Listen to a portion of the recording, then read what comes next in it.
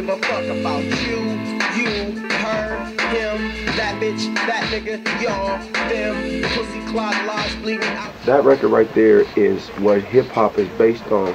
The metallic drums with the three snares instead of just the 2 mm-hmm. The snare on the on the on the two, three, and 4 mm-hmm. is some Isaac Hayes movie shit. Mm-hmm. You know, or even like you remember um you remember uh the Superfly soundtrack? Mm-hmm. Um the song I'm Your Pusher? Yeah.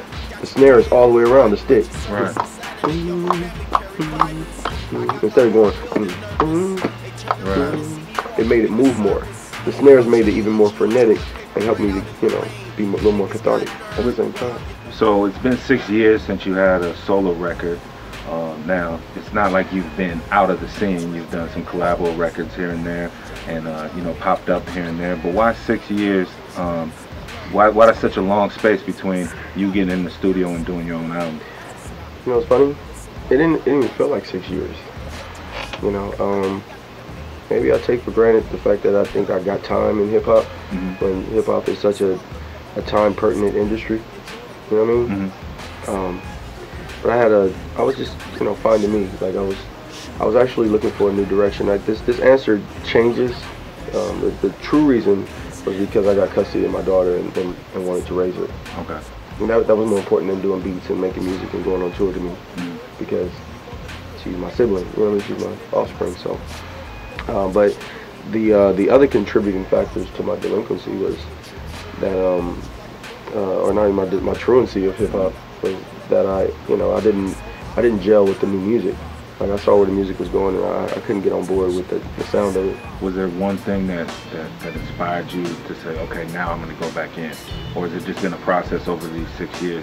Well, you know, I did the, you know, I did, um, I produced a couple of records here and there, you know, a song here, a song there, appeared in a couple of videos, tried to endorse the, you know, the, the new hip hop movement, Mhm. if you will, West Coast.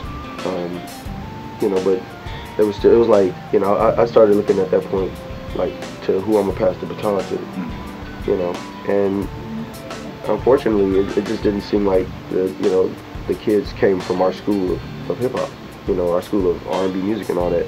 So it's hard to just say, okay, you're in the new it. I mean, everybody would want that endorsement from, you know, from from one of their, you know, peers. You know, but if you're not ready for it, you know, that could also that could be do more harm than good. Right. How long did once you started making the music for this album? How long did, was that process? Um, believe it or not, this is um, the Book of David is the most organic record I've ever done. Okay. It, it happened so fast. It was done. It was just done. You know what I mean? That it, it, I didn't even have time to dwell on it. Mhm. It just came out. Like, you know, you'll be you'll be you'll be hard pressed to find handwritten lyrics for this record.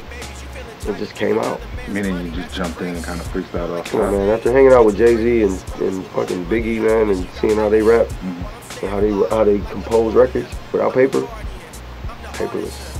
Right. Flyest MC that you've ever heard on a Neumann microphone, motherfucker, that's word. Now give me the mic and let me be heard. Cause I'll be quitting shortly, I am the sheep herd. Now what you know about my lyrics and style? I got a Clico backwash, fly spit, we wild.